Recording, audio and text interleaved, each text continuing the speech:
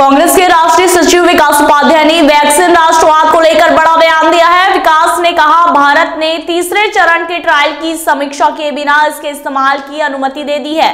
कांग्रेस के राष्ट्रीय सचिव विकास उपाध्याय ने भारत में कोविशील्ड और कोवैक्सीन को अनुमति दिए जाने को जल्दबाजी में लिया गया निर्णय बताया। उन्होंने सवाल उठाया कि दोनों वैक्सीन के तीसरे ट्रायल के आंकड़े जारी किए बिना अनुमति कैसे दे दी गई?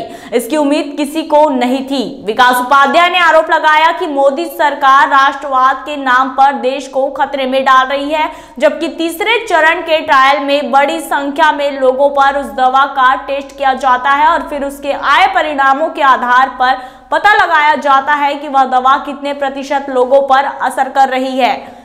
विकास उपाध्याय ने कहा, पूरी दुनिया में जिन तीन vaccine Pfizer BioNTech Oxford AstraZeneca और मोडेना की चर्चा है, उनके फ़ेज़ थ्री ट्रायल के आंकड़े अलग अलग हैं। ऑक्सफोर्ड की वैक्सीन को 70 फ़ीसदी तक कारगर बताया गया है, परंतु भारत में कोवैक्सीन के अलावा कोविशील्ड कितने लोगों पर कारगर है, इस पर संशय बना हुआ है। इसमें तो यह होना चाहिए था कि पूरा मोदी मंत्रिमंडल एक साथ इस वैक्सीन को लगाकर देश को एक विश्वास का संदेश देते, जबकि इसके ठीक उलट मध्य प्रदेश के मुख्यमंत्री शिवराज सिंह ने इस वैक्सीन को न लगाने की बात कर लोगों में और शंका उत्पन्न कर दी है।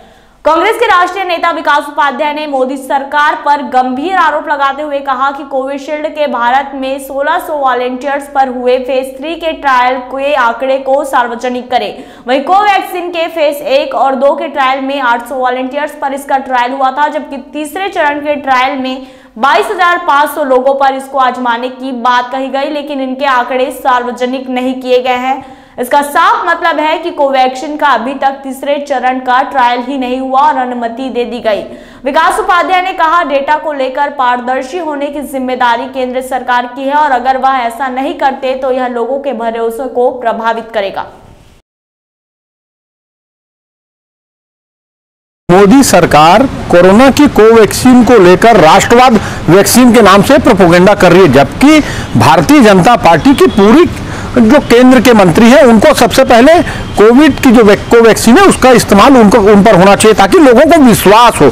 उसके बाद संचय की स्थिति बनती है, जब मध्य प्रदेश के मुख्यमंत्री जी ट्विट करके इस बात को कहते हैं कि मैं वैक्सीन को नहीं लगवाऊँगा। आज पूरे देश के अंदर या पूरे विश्व में कोरोना को लेकर एक डर है लोगों के मन में। उस समय अगर इस प्रकार की स्थितियाँ पैदा होती है तो और आप उसको राष्ट्रवाद का नाम देते हैं। हर चीज़ को राष्ट्रवाद से जोड़कर लोगों के इमोशन से खेलने का काम भारतीय जनता पार्टी की मोदी सरकार कर रही है। मेरा सिर्फ़ ये कहना है कि वैक्सीन जो तीसरे चरण की वैक्सीन का जो इस्तेमाल किया गया, उसके जो डाटा है, उसको लोगों के सामने प्रस्तुत करने की आवश्यकता थी।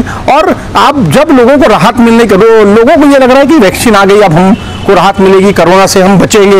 ये तमाम प्रकार की चीज़ें लोगों के मन से निकल कर आ रही है। उस समय सरकार को विश्वसनीय होना चाहिए, सरकार को विश्वास लेना चाहिए, जन, जनता में विश्वास होना चाहिए और उसके बाद इसका इस्तेमाल होना चाहिए। तो अभी के लिए बस इतना ही। तब तक के लिए हमें दीजिए इजाज़त और इस प्रकार की लेटेस्ट और रोचक खबरों से जुड़े रहने के लिए देखना ना भूलें नेशन अपडेट डॉट इन और हाँ आप खबरों से हर पल अपडेट रहने के लिए गूगल प्ले स्टोर से डाउनलोड करना ना भूलें नेशन अपडेट डॉट इन का app